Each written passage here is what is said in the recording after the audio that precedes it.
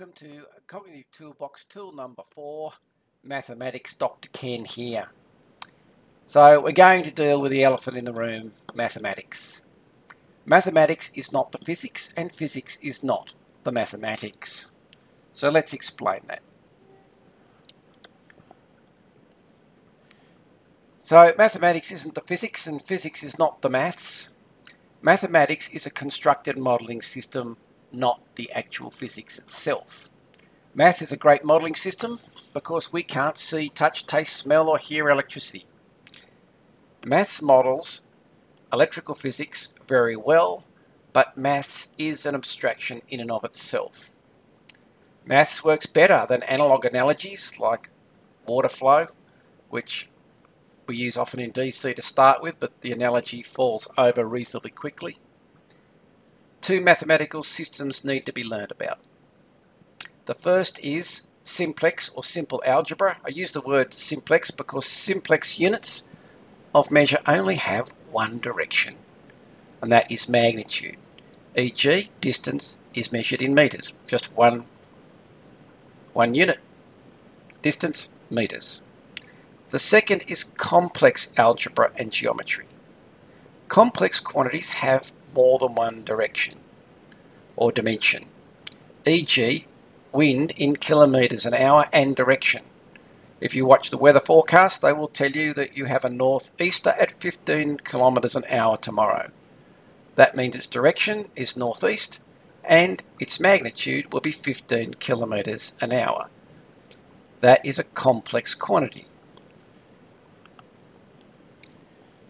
So mathematics is a constructed modelling system, not the actual physics. Maths is a great modelling system because we can't see the electricity. But the downside is we're using an abstraction to make sense of another abstraction. So we're adding layers of complexity. This is okay, but we need to understand it so we can effectively use it and manage that complexity. Maths works better than analog analogies, the water flow one that I mentioned earlier. Analogies are okay for the short term, but they often fall short very quickly.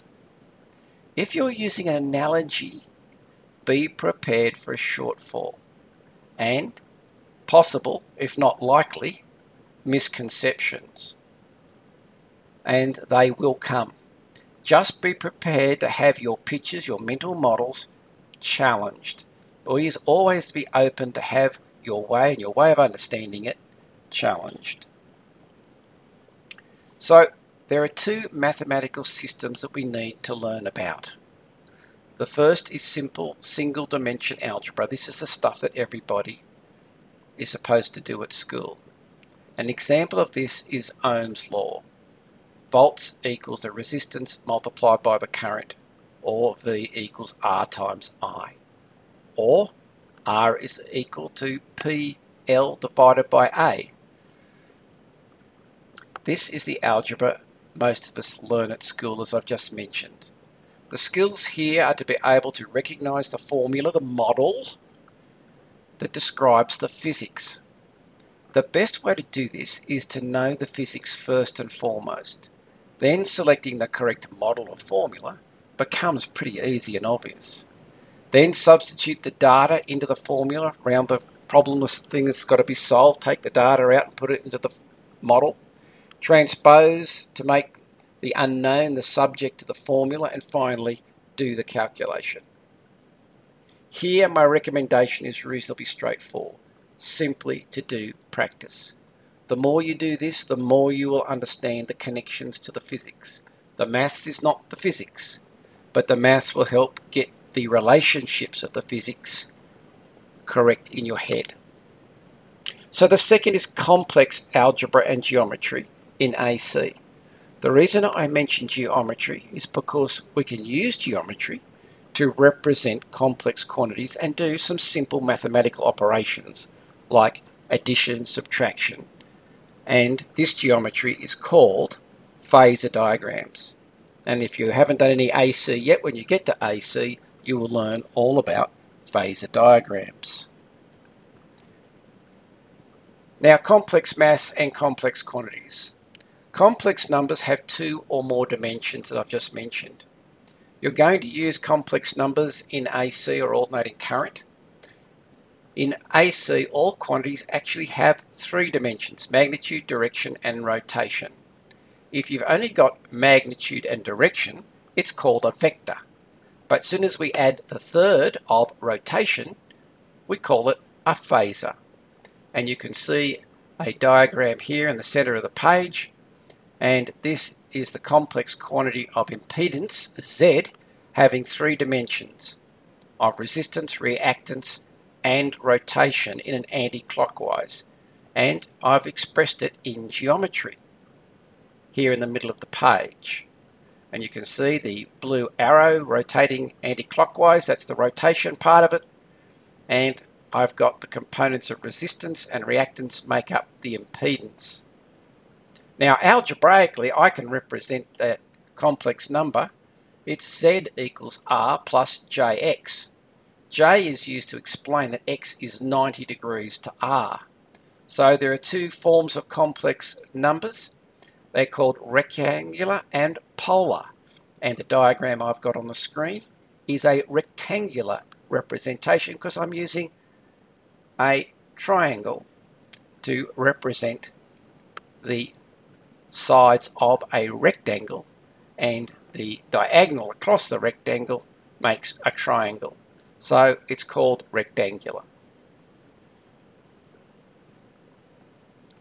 So let me do a little animation. Here is a complex quantity in AC and I've drawn an AC waveform which you can see on the left hand side. And it started at zero degrees and it's raising to its most uh, magnitude at 90 or its maximum let's call it our maximum voltage. And then it's coming back down to zero then it's going to the maximum minus and then it's coming back to zero or 360 on the next cycle the red arrow is going to move horizontally showing us the degrees.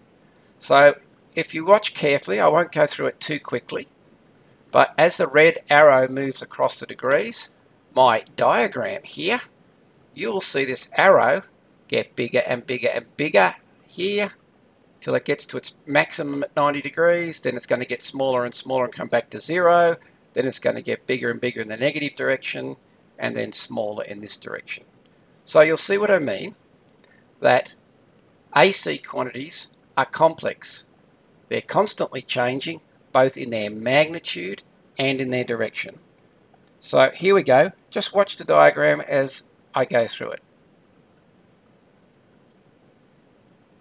There's the maximum at 90. Coming back towards minimum. There's the minimum. Now we're going negative, but it's getting bigger again in negative. Now it's getting smaller again as we come back to zero. So in AC, we have a complex quantity. It's constantly changing in its direction. It's constantly changing in its magnitude.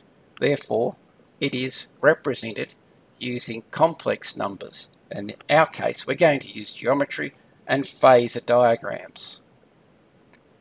So complex quantities in AC. The quantity, whether it be voltage, current, etc., is always changing direction, it's rotating, and its magnitude is varying. To simplify this constant changing of the quantity, we can average out the magnitude using root mean squared or RMS. This is the effective DC value.